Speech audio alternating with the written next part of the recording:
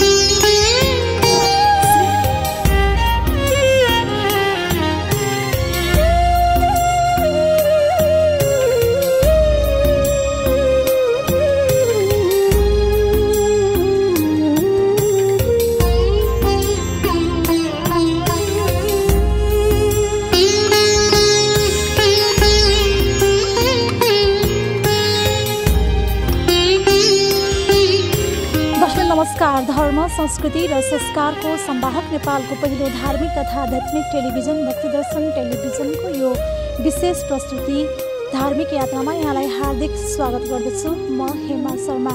दर्शकबिन श्रद्धा भक्ति अनि विश्वासको यात्रा धार्मिक यात्रा अन्तर्गत रहेर हामीले यहाँलाई विभिन्न मठ मन्दिरहरूको देवालय शिवालयहरूको दर्शन गराउँदै आएका छौँ। यसै क्रममा आज हामी बनेपाको यो धनेश्वर महादेवमा उपस्थित भएका छौँ। र काठमाडौँबाट करिब छब्बिस किलोमिटरसम्म बनेपा चोकमा आइसके पछाडि त्यसबाट चोकको दाहिनेपट्टिबाट चाहिँ डेढ किलोमिटर जतिको यात्रा तय गरेपछि यो धनेश्वर महादेव मन्दिर पुग्न सकिन्छ र धनेश्वर महादेव मन्दिर अन्य शिवालयहरूभन्दा केही पृथक रहेको पाइन्छ। र पौराणिक कथनअनुसार चाहिँ भगवती सती देवीको दाहिने कान पतन भएर भगवान् धनेश्वर उत्पत्ति हुनुभएको र शिवशक्ति स्वरूपले रहनुभएको कथन पाइन्छ।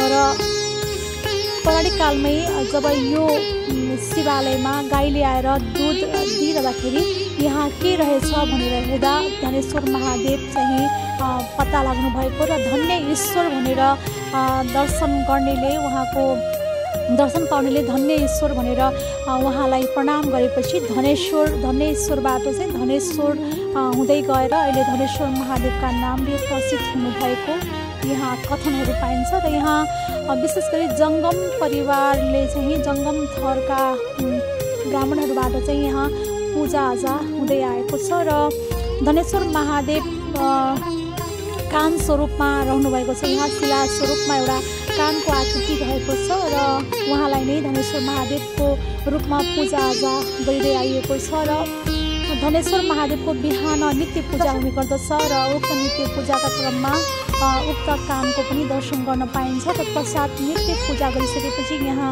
फेरि पुनः यहाँ भगवान्को चतुर्मुखको आवरण यहाँ पहिराएर पूजा समापन हुन्छ र सन्ध्यामा पनि आरती हुँदै आएको छ।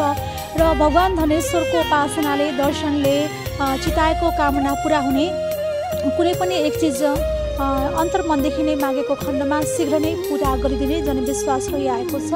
र यहाँ धनेश्वर महादेवमा विभिन्न चाडपर्वहरूमा चाहिँ भव्य मेला पनि हुँदै आएको छ र सन्ध्यामा आरती पनि हुँदै आएको छ। अबको क्रममा हामी यहाँलाई यो बनेपाको धनेश्वर महादेवको दर्शन गराउन गइरहेका छौँ। दर्शकहरू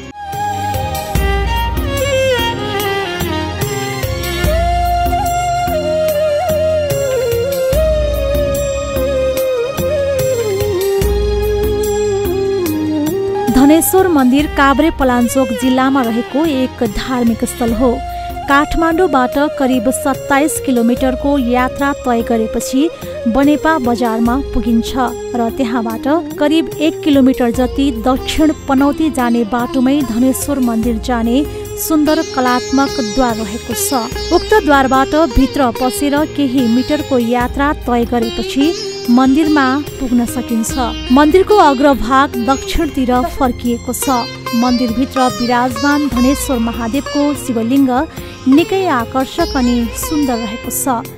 शिवलिङ्ग वरिपरि बेरिरहेको तामाको नाकको आभूषणले मूर्तिलाई थप आकर्षित बनाएको छ। यस धनेश्वर महादेव मन्दिरमा जङ्गम थरका पुजारीले पुस्तौदेखि भगवानको नित्य सेवा तथा पूजा गर्दै आइरहेका छन्। अब जङ्गम परिवारमा नि हाम्रो पुर्खा अघि तपाईँको दक्षिण भारत कर्नाटकबाट आउनुभएको छ कि? जम्मा जम्मैको नेपालमा दुई भाइ कि तिन भाइ आउनुभएको छ तपाईँको?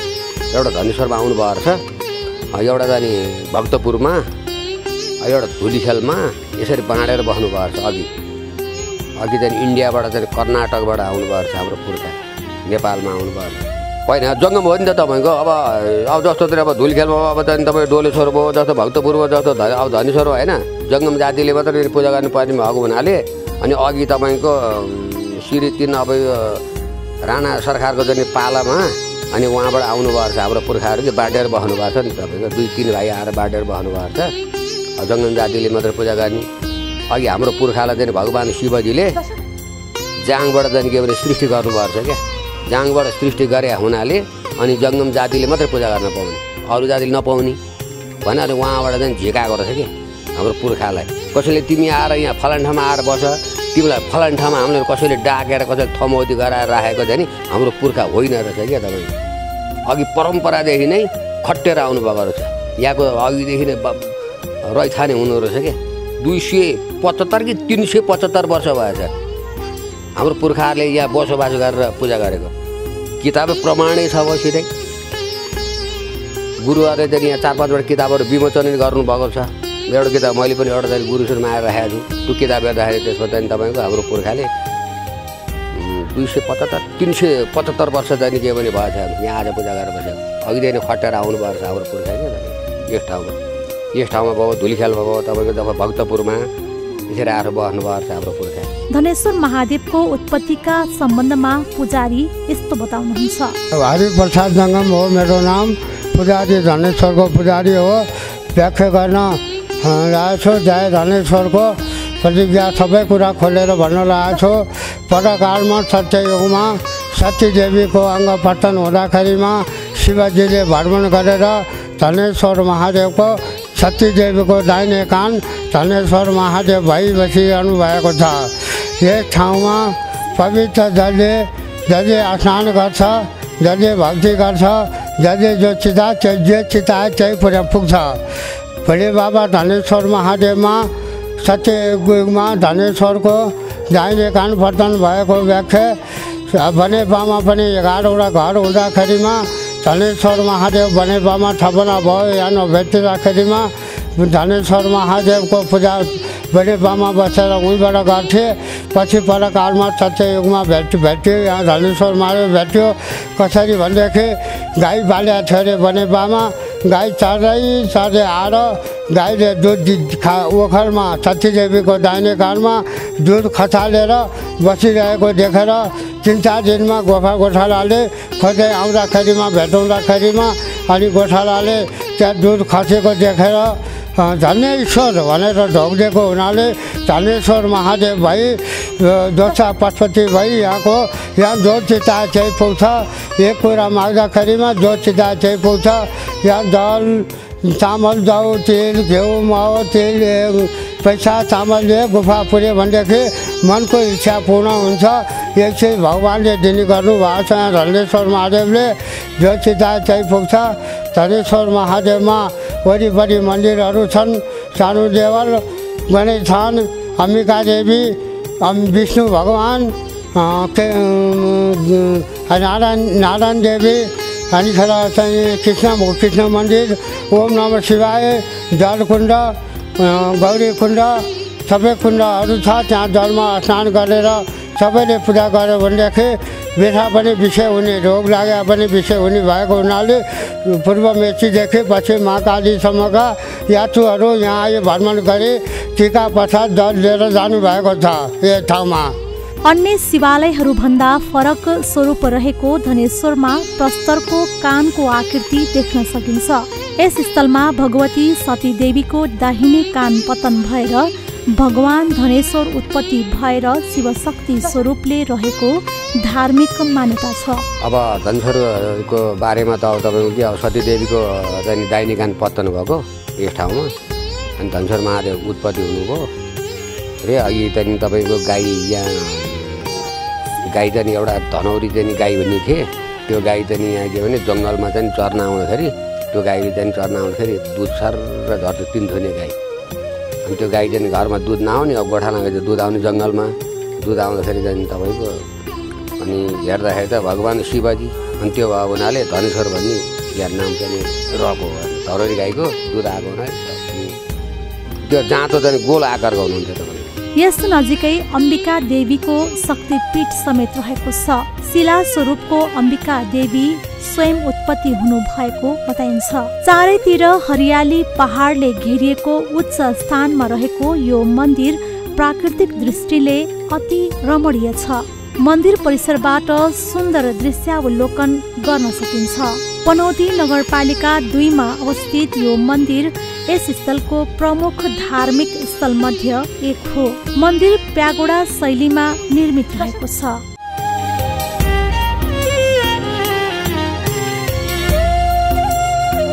मूल मन्दिरको अगाडि महादेवको वाहन नन्दी विराजित रहेको छ। मन्दिर परिसरमा अन्य शिवालयहरू समेत रहेका छन्। दर्शक तपाईँ धार्मिक यात्रामा रहनु भएको छ र श्रद्धा भक्ति अनि विश्वासको यात्रा धार्मिक यात्रा अन्तर्गत रहेर हामीले यहाँलाई बनेपामा रहेको धनेश्वर महादेवको दर्शन गराइरहेका छौँ र यहाँलाई हामीले धनेश्वर महादेवको उत्पत्तिको बारेमा पनि यहाँलाई अवगत गरायौँ र धनेश्वर महादेव नामले नै स्पष्ट हुन्छ। उहाँ चाहिँ धनधान्यले भरिपूर्ण गरिदिने भनेर विश्वास पनि रहिआएको छ र यहाँ रहेको कानमा आफ्नो इच्छा अनुसारको सिक्काहरू अथवा चामल अथवा कुनै पनि पदार्थले अथवा दुधले घिउले महले कुनै पनि चिजले यहाँले आफ्नो कामना अनुसारको भाकल गरेर यस कान जुन आकृति छ त्यहाँनिर यहाँले भरिदिनु भएको खण्डमा यहाँको इच्छा अत्यन्त शीघ्र पुरा हुने यहाँको जनविश्वास रहिआएको छ र यहाँले उक्त भर्नको लागि चाहिँ यहाँले तिन हजार पैँतिस सय जतिको चाहिँ कोइनको आवश्यकता पर्ने गर्दछ। यदि सिक्का भर्न चाहनुभयो भने र चामल भर्न चाहनुभयो भने यहाँले तिनदेखि साढे तिन किलोसम्म चाहिँ चामल लाग्ने गर्दछ र साथसाथै दुध अथवा घिउ महहरू भर्न चाहनुभयो भने पनि यहाँले त्यही तिन साढे तिन लिटरको अनुपातमा यहाँ आएर उक्त सामग्रीलाई आफ्नो कामना अनुसार भरेर आफूले चिताएको वरदान प्राप्त गर्न सक्नुहुनेछ। यसो त भगवान् आशुतोष देवादिदेव श्री महादेव सामान्य स्मरणले जल र पुष्प मात्रले बेलपत्र मात्रले पनि अत्यन्त प्रसन्न रहनुहुन्छ। तथापि भक्तजनहरूले आफूले श्रद्धा गरेर उहाँलाई चाहिँ विभिन्न कामनाहरू राखेर विभिन्न पदार्थहरू विभिन्न वस्तुहरू चाहिँ यहाँ अर्पण गर्न सक्नुहुनेछ र यस्तो प्रचलन यहाँ रहँदै आएको छ।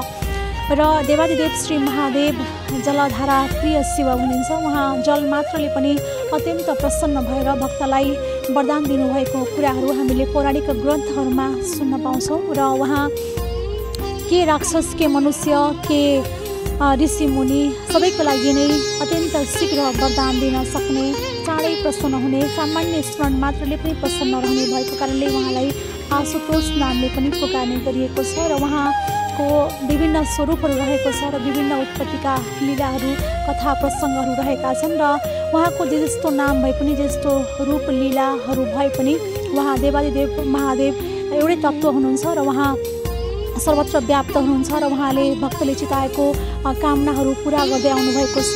र यसरी यहाँले पनि देवादिदेव श्री महादेव धनेश्वर महादेवको दर्शन गरेर आफूले चिताएको कामनाहरू शीघ्र पुरा गर्न सक्नुहुनेछ। र यो मन्दिर चाहिँ काठमाडौँबाट बनेपासम्म करिब छब्बिस किलोमिटर र तत्पश्चात बनेपा चोकबाट दाहिनेपट्टि लागेर यहाँ करिब एक डेढ किलोमिटरको यात्रा तय गरेपछि यस स्थानमा सजिलै पुग्न सक्नुहुनेछ। र यहाँ विशेष गरी बाला चतुर्दशी शिवरात्रि तिज लगायतका यो सोमबार श्रावण श्रावण महिनाभरि र श्री स्वस्तानी व्रत अवधिभर यहाँ विशेष रूपले मेला लाग्ने गरेको छ र उक्त अवसरमा हजारौँ दर्शनार्थीहरू यहाँ मेला भर्न आउने गर्नुहुन्छ र यहाँले चाहिँ भगवानको मूल स्वरूपको कान स्वरूपको दर्शन गर्नको लागि चाहिँ बिहान करिब आठ नौ बजेभित्र नै यहाँ आउनु भएको खण्डमा उक्त मूल चाहिँ मन्दिरको अथवा मूल भगवानको शिला स्वरूपको दर्शन गर्न पाउनुहुनेछ र नित्य पूजा गरिसकेपछि यहाँ भगवान्लाई चतुर्मुख आवरणले चाहिँ ढाक्ने गरिएको छ। र यसरी अहिले हामीले यहाँलाई श्रद्धा भक्ति अनि विश्वासको यात्रा धार्मिक यात्रा अन्तर्गत रहेर विभिन्न धार्मिक स्थलहरूको दर्शन गर्ने क्रममा आज हामीले यहाँलाई धनेश्वर महादेवको दर्शन गराइरहेका छौँ दर्शकवृन्द मन्दिर परिसरमा रहेका पार्टी तथा पौवाहरूमा काष्ठ कलाको अनुपम नमुना देख्न सकिन्छ। मन्दिर परिसरमा रहेको विशाल पिपलको वृक्षले यस स्थललाई थप सुन्दर आकर्षक र पवित्र बनाएको छ। मन्दिरसम्म पुग्न केही भर्याङहरू चढ्नुपर्ने हुन्छ। भगवान धनेश्वरको पूजा गर्नाले धन सम्पत्ति प्राप्त हुने तथा परिवारजनको समृद्धि बढ्ने जनविश्वास रहिआएको छ। यस मन्दिरमा पूजा तथा आराधना गर्नाले मनले चिताएको पुग्नुका साथै घरमा धनधान्यको बास हुने विश्वास गरिन्छ। उहाँले भने अब एक मन एक चित्त गऱ्यो भने जे चाहे पनि एक थोक चाहिँ नि माग्यो भने म दिन्छु भनेर। हजार ठाउँ माग्यो मैले कहाँबाट दिने मैले हजुरलाई होइन भने कि के भने अब सम्पत्ति चाहियो भने सम्पत्ति एक थोक दिने। अब परिवार चाहियो भने परिवार चाहियो भने दिनुहुन्छ। जागिर व्यवसाय चाहियो भने पनि बिजनेस व्यापार जागिरमा पनि तपाईँको एक थोक दिनुहुन्छ शिवजीले दिनुहुन्छ। अब यदि दिँदैन भने तपाईँको अब रावणले दस हजार वर्ष तपस्या बस्यो जङ्गलमा। द बस्दाखेरि भगवान् शिवजी प्रकट भएर पनि मलाई बहु एकदम खुसी लाग्यो मलाई। त्यहाँदेखि के माग्छ राजा रावण भन्दाखेरि मलाई सबै थोक छ। प्रभु मलाई पुग्यो तपाईँको काखमा बसेको पा पार्वती चाह्यो भन्यो नि। त्यो त प्रमाणित भएको शिव पुराणमै पनि छ। भने अब आफ्नो काखमा बसेको स्त्री त भोलेनाथले चाहिँ दिन्छ भने अरू अब भक्तहरूलाई मनुष्यलाई उसको धर्म गऱ्यो भने खुसी गरेर अरूले के चिज दिँदैन होला? जे पनि दिन्छ नि तपाईँको भने त्यस्तो भोलेनाथ हुनुहुन्छ उहाँ। यहाँ प्रत्येक दिन बिहान चार बजे मन्दिर खुल्ने गर्दछ। भक्तजनको आवागमन भएसम्म पूजा चलिरहन्छ। र आवागमन केही कम भएपछि नित्य पूजा रक्तचन्दन घरमा कुटेको चामलको अक्षता गाईको दुध आदिले विशेष पूजा गर्ने गरिएको छ। त्यसको नित्य पूजा त तपाईँको अब पर्वमा चाहिँ दिनभरि अहिले अब आज रुद्री थियो। चारवटा रुद्री छ भने सवा एघार बजी पूजा गरियो। नत्र भने तपाईँको साढे आठ नौ बजीतिर पूजा अब बिहान चाहिँ म साढे तिन बजी उठ्छु। साढे तिन बजी उठेर अब नुहाइधुवाइ गरेर आगो बालेर आएर अनि चतुर्मुख झिकेर अनि अब श्रीखण्डको चन्दनहरूले लगाइदिएर पूजाआजा गरेर विधि विधि अब मन्त्र सन्त्रहरू पढेर भगवान्को पढेर ठ्याक्क चाहिँ नि अब चाहिँ नि उ गर्छु। बिहान अनि भक्तहरू आउँछन् जल प्रसादहरू दिन्छु। साढे आठ नौ बजीतिर पूजा हुन्छ। भक्तहरू आएन भने भक्त आयो भने तपाईँको दस एघारसम्म बस्छ। कुनै ठेगान हुँदैन तपाईँको। मैले श्रीखण्ड रौदे जनन गाईको दुध बेलपत्र अब चोखो आफ्नो चाहिँ चोखो चामलले चाहिँ नि निम पूजामा त्यो चाहिँ चलाइन्छ नि। बिहान साढे सात आठ बजीतिर आएर झ्याउँछ तपाईँको अहिपछि अब यो सोमबार शनिबार चाहिँ अलिकति ढिलै हुन्छ। उनीहरूले चाहिँ अब आफ्नो के मनमा लागेको छ त्यो ओखलीमा चाहिँ भएर चाहिँ उहाँहरूले पाउनुहुन्छ। अलिक ढिलो भएको हुनाले। त्यसै गरी भक्तजनले भाकल गरेर यहाँ विशेष पूजा गर्ने चलन पनि रहेको छ। यसरी विशेष पूजा गर्न पुजारीलाई पहिल्यै जानकारी गरेर चामल सिक्का दुध मह दही घिउ आदिले कान आकृतिमा भरेर अत्यन्त श्रद्धाका साथ पूजा गरेर एक चिज वरदान मागे आफूले चिताएको शीघ्र पुरा हुने मान्यता छ र यसरी भाकल गरेर पूजा गर्न आउनेको सङ्ख्या पनि उल्लेख्य रहेको पुजारी बताउनुहुन्छ। यहाँ चामल भनिन्छ सतीदेवको दाहिने दुईवटा पकल छ। हजुरको त्यहाँदेखि एउटा ठुलो एउटा ठुलो एउटा ठुलो एउटा सानो। तिन किलो चामलले चाहिँ भरिन्छ तपाईँको तिन किलो चामल त्यसमा अब जनै सुपारी अब त्यसमा चाहिँ तपाईँको जनै सुपारी नरिवल आफूले सकेको चाहिँ भेटीघाटी हालेर चाहिँ फरिन्छ कहिले दुधले नि भर्छन् गाईको दुधले नि भर्छन् तपाईँको चाहिँ किनभने अब त्यहाँ घिउ मलले नि भर्छन् पैसाले नि भर्छन् चामलले नि भर्छन् भक्तहरूले उनीहरूको अब के इच्छा छ त्यो अनुसार भर भर्छन् दुध तिन किलो पैसा जाने तिन हजार पैँतिस सय चार हजार लाग्छ तपाईँको क्वाइन त्यतिले भरिन्छ। के हुन्छ भने अब तपाईँको आफूलाई दिने अब के इच्छा लागेको छ? भगवान्लाई आफूलाई के इच्छा लाग्यो त्यो अब इच्छा अनुसारको के माग्ने इच्छा छ त्यो फल प्राप्ति हुन्छ एक थोक। आफूलाई के छ या धन सम्पत्ति या परिवार होइन? कुनै जागिर बिजनेस व्यापार के माग्नुपर्छ त्यो चाहिँ नि फल प्राप्ति हुन्छ नि तपाईँको। धेरै भइरहेको छ। हामीलाई नि महसुस भइरहेको छ तपाईँको। हामीलाई नि महसुस भएर त हजुरहरूलाई चाहिँ मैले भनेको नि महसुस भइरहेको छ नि तपाईँको। अब तपाईँको चाहिँ नि अब म यति टाइममा आउँछु होइन? यसरी म आउँछु यसरी म भर्छु भनेर चाहिँ नि भक्तहरूले चाहिँ जानकारी दिनु पऱ्यो भक्तहरूले यति बजीमा आउँछु भने जानकारी दिनु भने त्यो अनुसार हामी कुरेर बस्छौँ। नत्र अब तपाईँको निम्बु जग्गा चाहिँ अचानकमा आयो भनेदेखि त थाहा हुँदैन। अनि त्यहाँ भगवान्लाई चढाउनुहोस्। नमस्कार दर्शन गर्नुहोस् जानुहोस् भनिदिन्छौँ जानकारी भयो भने हामी अडेर बस्छौँ तपाईँको करिब तीन रोप्ने क्षेत्रफलमा फैलिएको मन्दिर क्षेत्रमा विभिन्न देवदेवीको मन्दिरहरू रहेका छन्। मुख्य मन्दिर वरिपरि गणेश राधाकृष्ण नारायण अम्बिका देवी नागस्थल जलकुण्ड आदि रहेका छन्।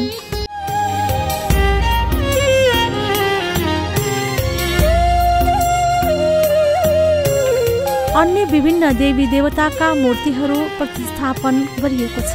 मन्दिरमा के हुनु? अब धनेश्वर महादेव हुनुहुन्छ उतापट्टिको रित्ता भक्तेश्वर अब त्यो त व्यक्तिले राखे अब तलको नारायणको मन्दिर हुनुहुन्छ। अब त्यहाँ राधाकृष्ण मन्दिर छन् तपाईँ पिपल थान छन् त्यहाँ पिपलको उसमा फेदमा चाहिँ अब भगवान् नारायण उत्पत्ति नै भएका हुन्। त्यहाँ अम्बिका देवी माता छन् गणेश हुनुहुन्छ त्यहाँ। गणेशजी हुनुहुन्छ त्यहाँ। अम्बिका माता पनि उत्पत्ति नै भएको हो। पोहोर सानो मन्दिर थियो पोहोर एउटा भक्तले बनाएर चाहिँ नि मन्दिरै गजसित बनाइदिनु भयो।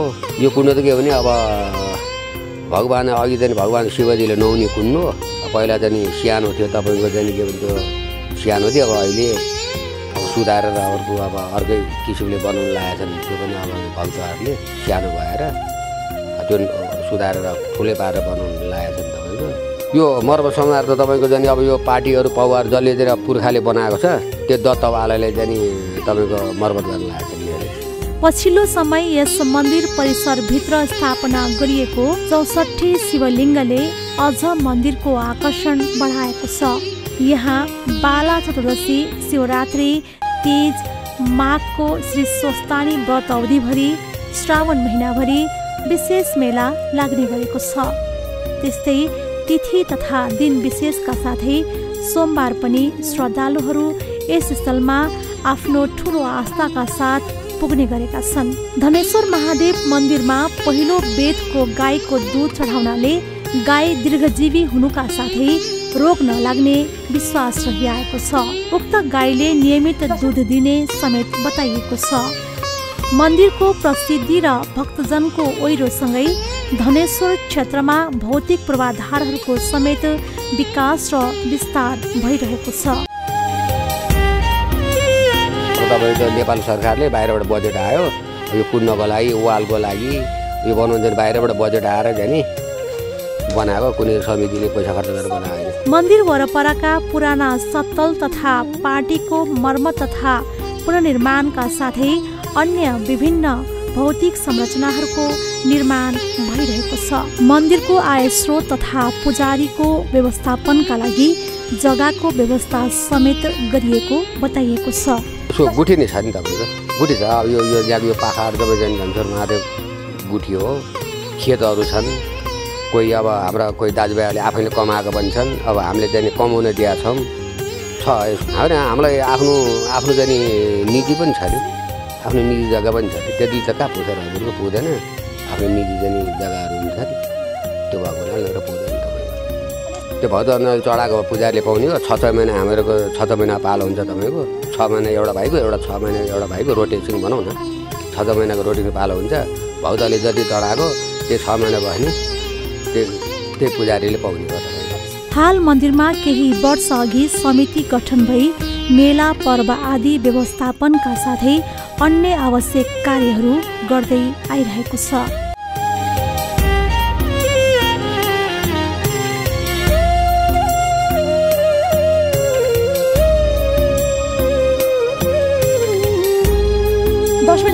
श्रद्धा भक्ति अनि विश्वासको यात्रा धार्मिक यात्रामा रहनु भएको छ र यस प्रस्तुति अन्तर्गत रहेर हामीले यहाँलाई विभिन्न मठ मन्दिरहरूको देवालय शिवालयहरूको दर्शन गराइरहेका छौँ र यसै क्रममा आज हामीले बनेपामा रहेको धनेश्वर महादेवको दर्शन यहाँहरूलाई गरायौँ र धनेश्वर महादेवको विशेषता पनि यहाँहरूमा आज हामीले अवगत गरायौँ।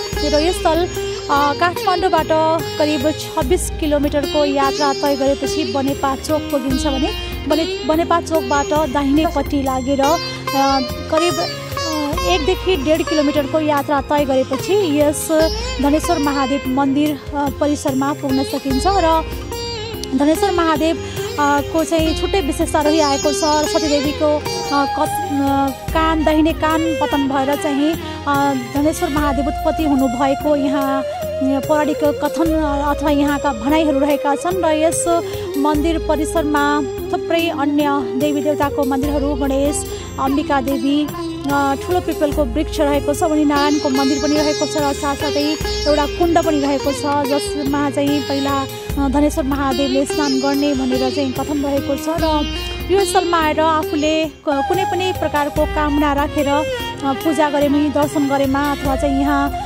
कानमा विभिन्न सामग्रीहरू भरेको खण्डमा चाहिँ आफूले चिताएको कामनाहरू पुरा हुने जनविश्वास रहिआएको छ र यहाँहरू पनि यस स्थलमा आएर भगवान् धनेश्वरको दर्शनका साथसाथै आफ्नो एउटा चिताएको कामनाहरू राखेर पुरा गर्न सक्नुहुनेछ र यो चिताएको कामनाहरू पुरा भएर यहाँ थुप्रै दर्शनार्थीहरूले आफ्नो भाकल पुरा गर्न आउनु भएको पनि यहाँ हामीले पुजारीको पुजारी मार्फत चाहिँ हामीले जानकारी लियौँ र यसरी धनेश्वर महादेवले धनधान्यले भरिपूर्ण गरिदिनु हुने जनविश्वास पनि रहिआएको छ र दर्शक पनि आजको लागि श्रद्धा भक्ति अनि विश्वासको यात्रा धार्मिक यात्रा।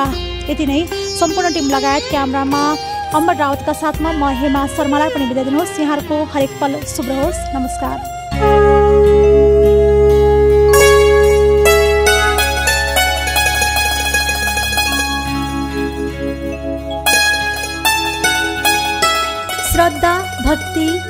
विश्वासको यात्रा धार्मिक यात्रा।